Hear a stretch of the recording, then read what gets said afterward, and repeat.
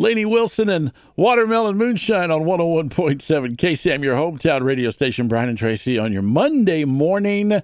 And uh, have you seen a lot of these novelty versions of Monopoly? You know, Huntsville has their own. I didn't know that. So Huntsville does, really. Yeah, I, I want to say one of the pharmacies like Walgreens or CVS, they've got the Huntsville version of Monopoly. Oh, that's pretty cool. And they got some different landmarks that are around the corner.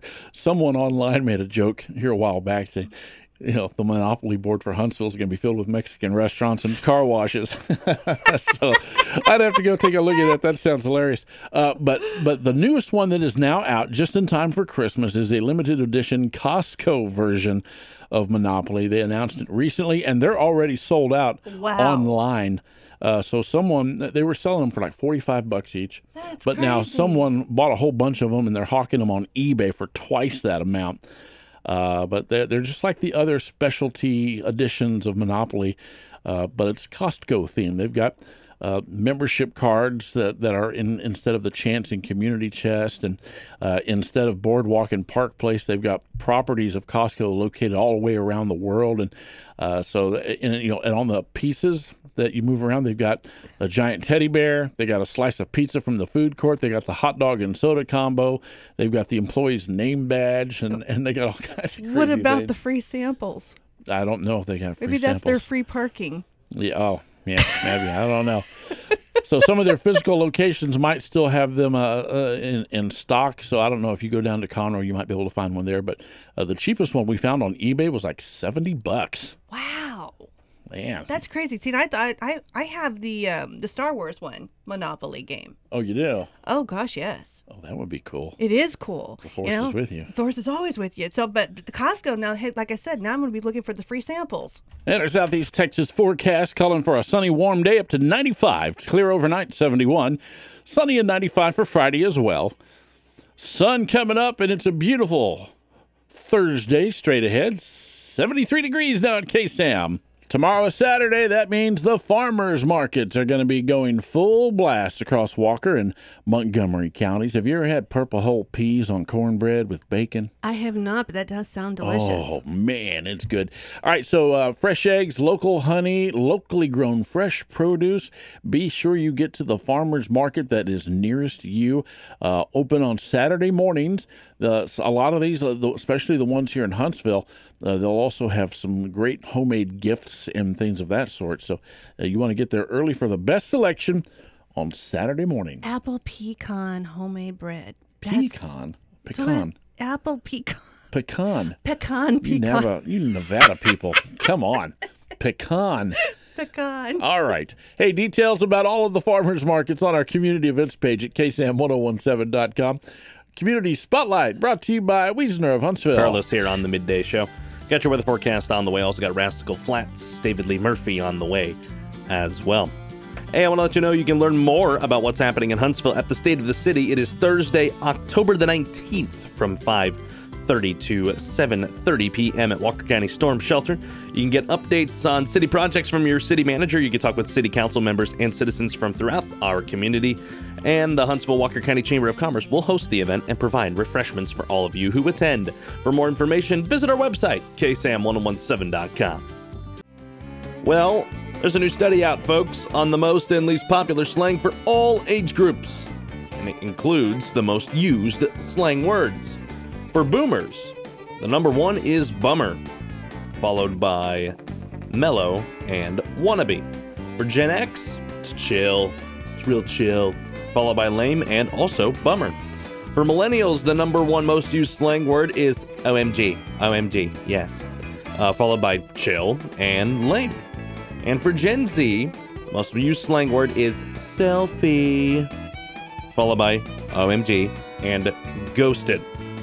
There's, there's also a rundown of the slang words that we want to go away forever. For us folks in Gen Z, they want to banish the words savage and uh, POV for some reason. Uh, for millennials, they want to forget the word slay, sluss, sluss, goodness gracious, sus. I combined slay and sus there, and then clout as well. Yeah, makes sense. Carlos here on the midday show. Got your weather forecast coming up in just a few moments. Also got Miranda Lambert and Thomas Rhett on the way as well.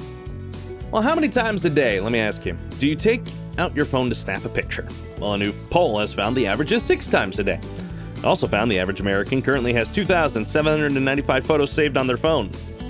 The most common pics we have are shots of friends and family, selfies, and pictures of our pets. Here are the most common reasons people said that they take photos. Number one, because we want to look back on a moment later. Two, to take a photo of something unusual or something we've never seen before. To show something to someone else. To post it on social media. Because there's a quote cuteness factor, so that one's mostly about the kids and the pets. I'm gonna pull my phone out right now. I'm gonna tell you how many phone photos are sitting in my phone right now. Here, passcode is punched in. Opening the Photos app. I know my iCloud photos haven't been updated in 38 days. You can remind me about that later, Apple. Here we go 22,414. Probably back up the iCloud. Morgan in five minutes. Part of 90s at noon on your hometown radio station, 101.7 KSAM. Carlos with you on the midday show. Your weather forecast is coming up, and I got more 90s at noon on the way with Dwight Yoakam, Shania Twain, and also Rick Trevino and Clint Black this hour. Well, it's time for a food story. More of a candy story today. You know, Sour Patch Kids. They aren't just for the movies or when you want to buy Halloween candy next month, but no trick or treaters showed up, so you, quote, have to eat it all.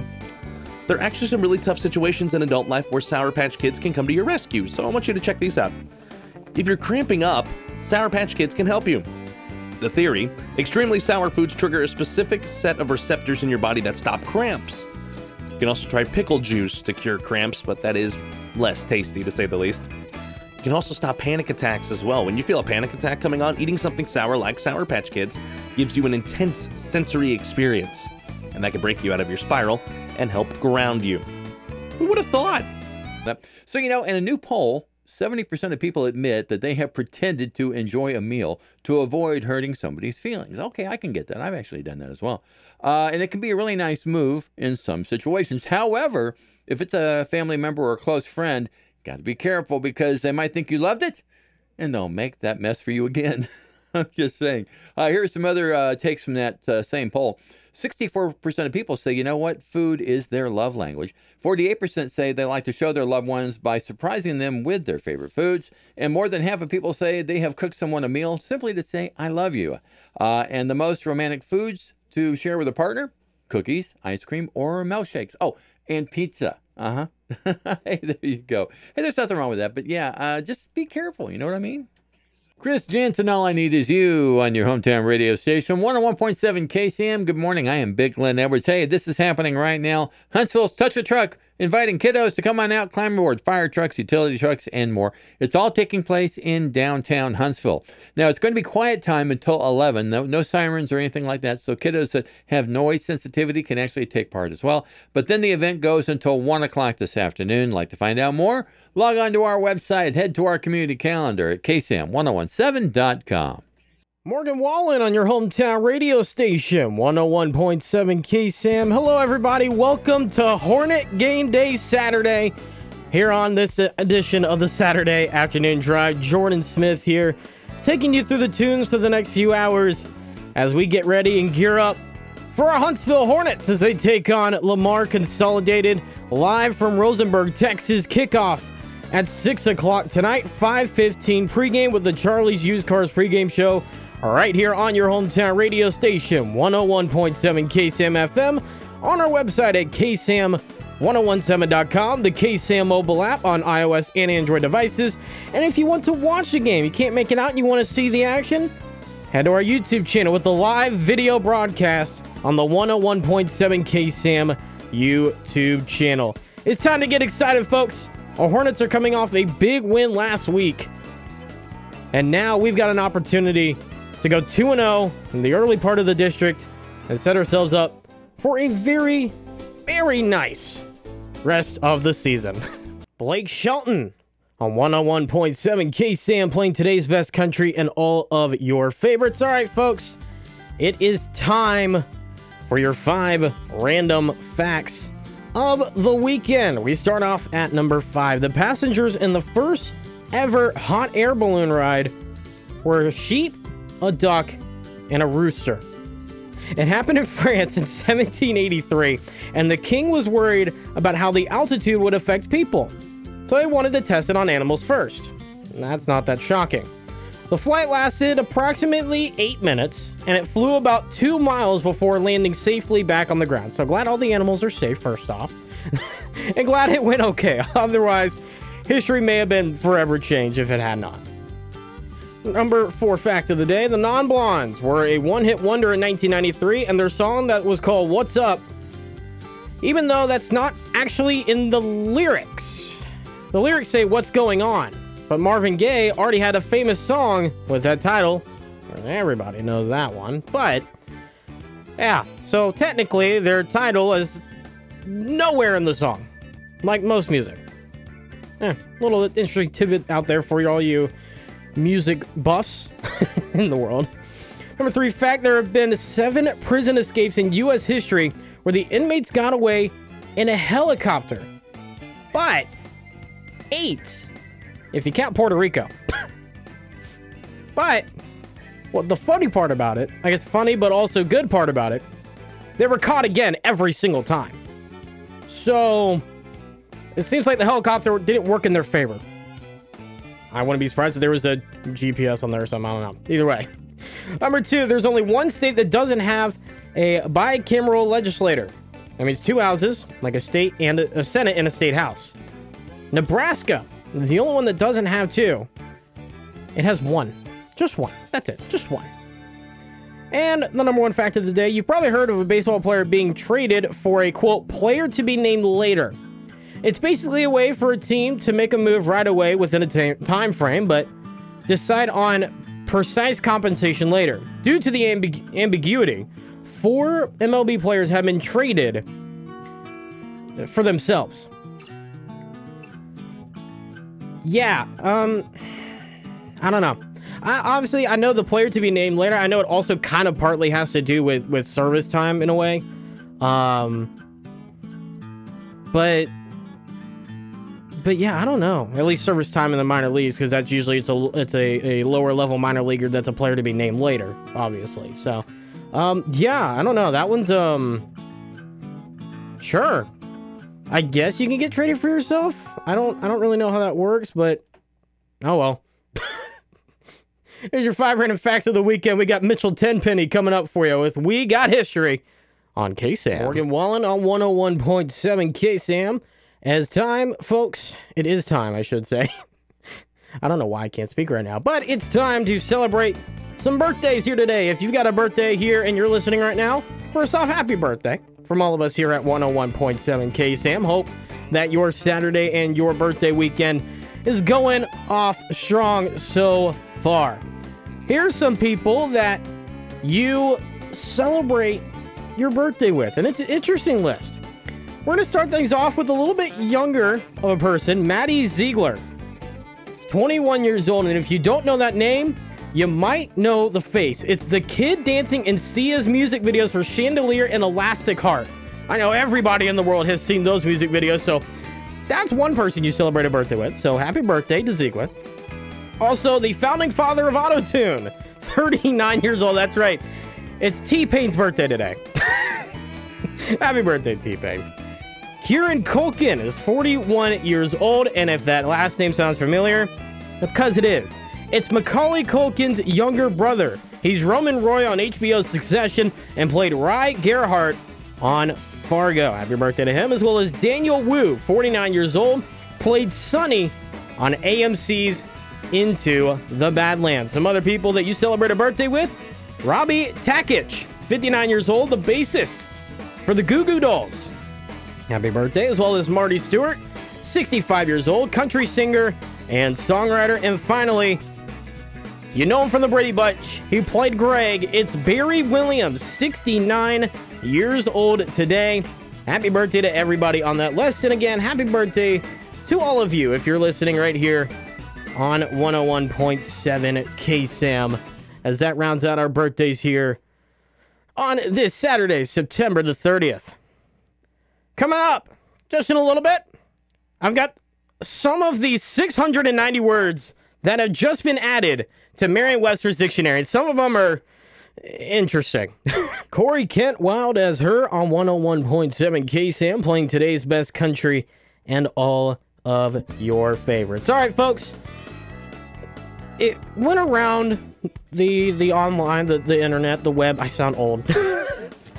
it was on the internet, social media yesterday that there were some new words added to the Merriam-Webster dictionary. In fact, there were 690 new words and terms that were added to the dictionary just a few weeks ago, but it was officially announced basically yesterday in the last 48 hours, so on and so forth.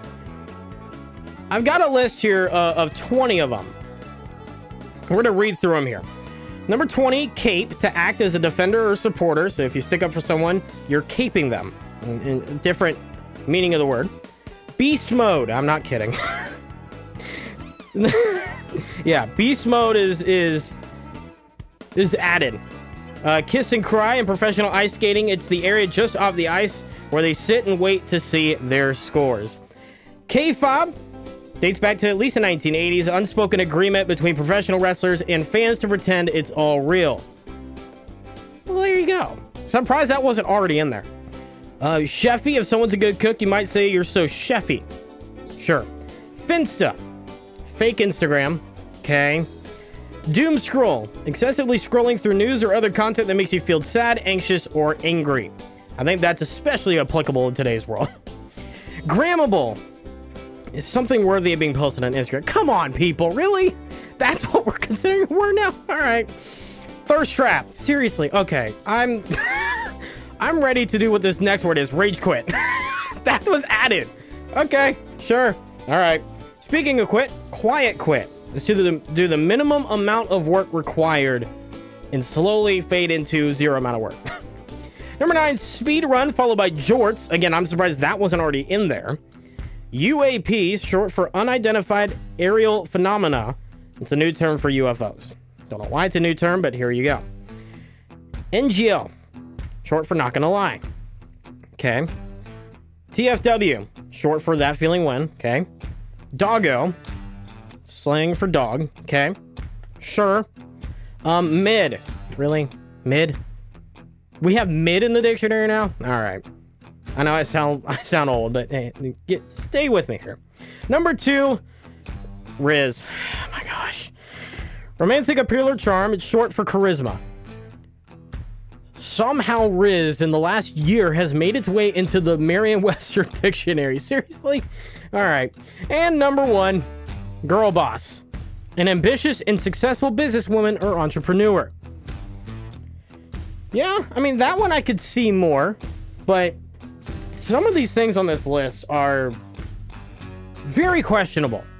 Whether I thought they were already on there or just there's no reason for them to be on it in period. In period. So I, I don't know. I don't know. Let's get away from that. Let's go to a song that's on the top 10. All the way down to number 9 at Luke Combs. It's Love You Anyway. Here on KSAM. Couldn't think of a better artist to lead us into the end of our show here. The hometown hero in Cody Johnson here on 101.7 KSAM. As folks, that does it for my show here today. A little bit shorter, but there's a perfectly good reason for that. It's Hornet game day, ladies and gentlemen, as your Huntsville Hornets take on Lamar Consolidated down in Rosenberg, live from Traylor Stadium. Carla Zimmerman, Brian Adams, and Luke Scott on the call of the action, live from Rosenberg and at Traylor Stadium. With the Charlie's Used Cars pregame show coming up just around the corner. So be sure you stay tuned right here on the flagship for Huntsville Hornet Football 101.7 KSAM FM. You can also listen on our website at ksam1017.com, the KSAM mobile app, and watch the live video broadcast on our YouTube channel at the 101.7 KSAM channel. It's been fun, folks. I'll see you next week for another edition of the Saturday Afternoon Drive. Same time, same place, every Saturday at 3 o'clock, right here on your hometown radio station, 101.7 KSAM. Before we head out to Rosenberg, let's get you a little bit of Morgan Wallen. Everything I love here on KSAM. And after that, it's the Hornets. And it's game day!